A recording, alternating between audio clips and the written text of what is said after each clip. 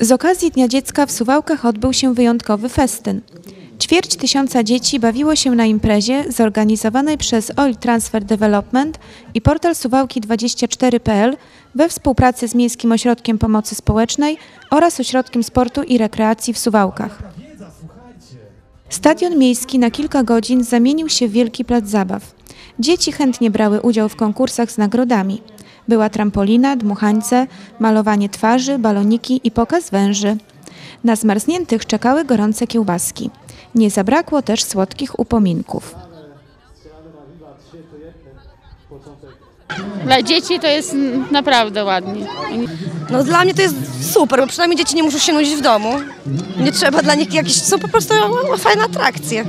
się podoba na mnie zalnia i słoń.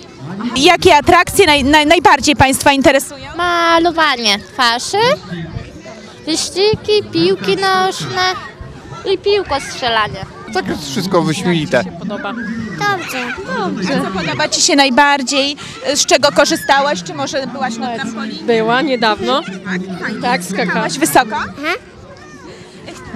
Na, na jakie atrakcje jakby najbardziej Państwo czekali? Co jest najfajniejszego? Na wszelkiego rodzaju konkursy organizowane dla dzieci.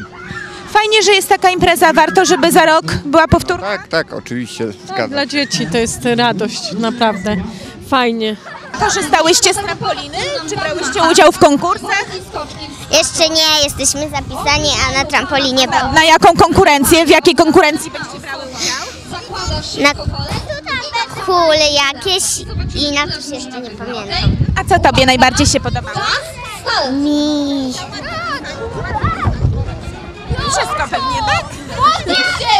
Atrakcje zapewniali Anima Kids, Przedszkole Little Star, Wioska Wesołych Wędrowców, DJ Pagan i MP Event, Tumiel Dmuchane Zabawki, Akademia Piłkarska Wigry Suwałki oraz animator Renata Mikielska.